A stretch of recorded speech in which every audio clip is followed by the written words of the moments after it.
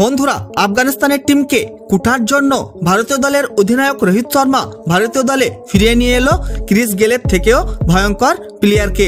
এবং এই ভয়ঙ্কর প্লেয়ার হলো ক্রিস গেলেরও বাপ। এবং এই প্লেয়ার মাঠে এসে এসে শুরু করেছিল চার এবং ছক্কার বর্ষণ এবং টি টোয়েন্টিতে করে ফেলল সব থেকে দ্রুততম ডাবল সেঞ্চুরি। এবং খেলে ফেলল মাত্র এত বলে দুশো পাঁচ রানের মারকাটারি ইনিংস। এবং এই প্লেয়ার আলোড়ন সৃষ্টি করল পুরো ক্রিকেট জগতে।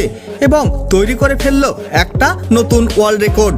আপনারা যদি জানতে চান যে কে এই ভয়ঙ্কর প্লেয়ার, তাহলে বন্ধুরা ভিডিওটি লাইক করুন এবং চ্যানেলটাকে সাবস্ক্রাইব করে রাখুন। বন্ধুরা, শুরু হতে যাচ্ছে ভারত এবং আফগানিস্তানের মধ্যে তিনটি টি টোয়েন্টি ম্যাচের সিরিজ। তার মধ্যে প্রথম টি টোয়েন্টি ম্যাচ এগারোই জানুয়ারি, দ্বিতীয় টি টোয়েন্টি ম্যাচ চোদ্দই জানুয়ারি এবং তৃতীয় টি টোয়েন্টি ম্যাচ সতেরোই জানুয়ারি খেলা হবে। এবং এই প্রথম টি টোয়েন্টি ম্যাচ শুরু হয়ে যাবে ভারতীয় সময় সন্ধে সাতটা থেকে মহালির মাঠে। কিন্তু বন্ধুরা, অন্যদিকে বিজয়মান ট্রফির একটা ম্যাচ খেলা হয়ে গেল দিল্লি। ইলেভেন এবং সিম্বা ইলেভেনের মধ্যে। তার মধ্যে দিল্লি ইলেভেনের হয়ে খেলে সুবোধ ভাটি সিম্বা ইলেভেনের বোলারদেরকে কুটতে কুটতে প্রায় কুটেই দিল।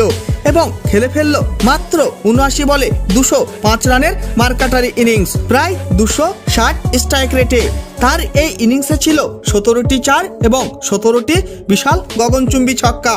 বন্ধুরা, সতেরোটি চার এবং সতেরোটি ছক্কাকে যদি টোটাল করা হয়, তাহলে সুবোধ ভাটি চৌত্রিশ বলেই খেলে ফেলল একশো সত্তর রানের ইনিংস।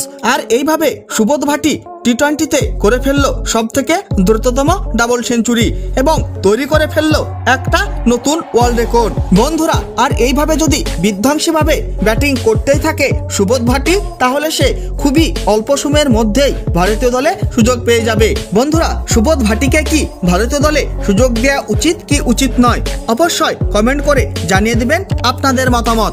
বন্ধুরা, ভিডিওটি শেষ পর্যন্ত দেখার জন্য ধন্যবাদ জানাই। তাহলে দেখা হবে নেক্সট কোনো ভিডিওতে।